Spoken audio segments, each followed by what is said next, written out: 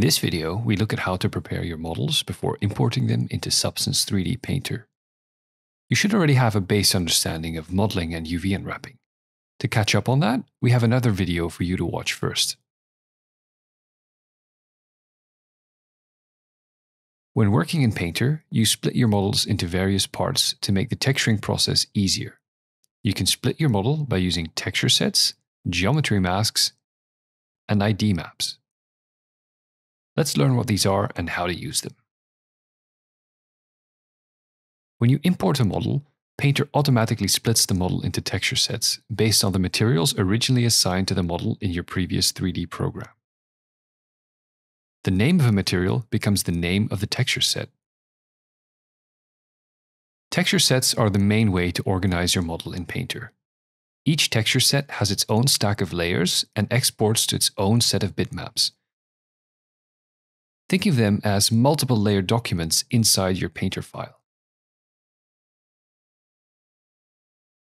Texture sets need to work together with your UV layout. Because each texture set is an individual layout, your UV map should be packed for each texture set. That means efficiently grouping the UV layouts per texture set to get the most out of your UV space. You can then mask and split materials within your texture sets by using either geometry masks or an ID map. Geometry masking relies on subgeometry in your model. Keeping your model split in individual parts lets you use those parts as masks. You activate the geometry mask for a layer, then simply check or uncheck sub-objects from the list. Alternatively, you can use an ID map. ID maps are big textures that contain data to make assigning materials easier. When your model has an ID map, you hold down Control while dragging materials onto your object. This automatically assigns the material to a specific section of your model. You can create these maps in a few different ways such as assigning vertex color data in your 3D application, or by baking maps using a second high poly mesh with different material colors for each ID section. Each method requires a different setup when baking your ID map. Models don't need a full UV unwrap to successfully import into Painter. Painter has a handy auto UV unwrap feature to do this for you. Painter's auto UV tools do up to three steps cut UV seams, unfold and flatten your cut UV islands, and pack the flattened islands into an efficient layout. Each step can keep the existing UV data that you made beforehand in your 3D application. For example, this mesh originally had all UVs stacked on one single layout, but after splitting it into separate texture sets, we can let Painter repack the UVs for us so that we're using our separate UV tiles more efficiently. Now, let's try this out in 3ds Max. Let's start with texture sets. So to assign different texture sets, you need to assign different materials inside 3ds Max. It's easiest to do this with the compact material editor as that one gives you a better overview of your materials and their names. So you start with creating a material for each texture set that you'd like to end up with in Painter, and then you name them properly because it helps to keep things organized. The type of material doesn't really matter, but it's a good idea to give them different colors so you can easily tell your texture sets apart inside 3ds Max.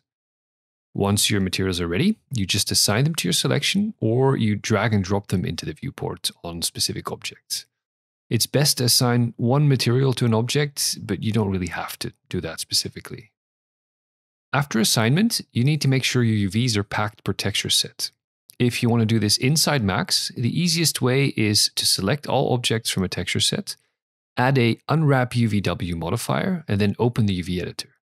Then use the Arrange Elements tool to pack your shells within the UV range. I personally prefer the Pack Normalize option. Or you can just pack things manually also. You can also skip the packing inside Max and have Painter do it all automatically for you. Just export after the material assignment and toggle the auto unwrap option in the new project dialog. Then you open the options, and depending on if you already cut your seams and unfolded, you can tell Painter to regenerate all packing. This is done per texture sets and it gives you a good layout to start texturing with.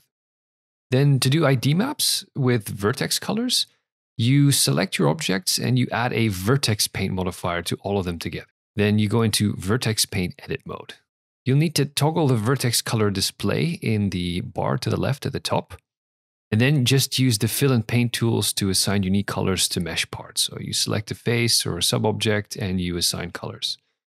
Remember to turn off the vertex color display before you exit the modifier because it's not done automatically. Once in Painter, go into the baking dialog after import and make sure to set the ID map color source to vertex color. And then last, to prep for geometry masks, that's pretty easy. So to use it in Painter, you just split your model into multiple objects. If you already have a lot of separated objects, you can just skip this step. But if your mesh consists of only one or two parts, go into Edit Poly mode and select sub-objects and then use Detach to split them into new objects. It's a good idea to name your objects properly because it just makes it easier to navigate in Painter. Once you get to Painter, geometry masking then lets you mask based on those objects from 3ds Max. Simply click objects to toggle inclusion, so on or off, or use the drop down on the right for shortcuts to include or exclude all objects. So you can exclude all and then just click a few to include them.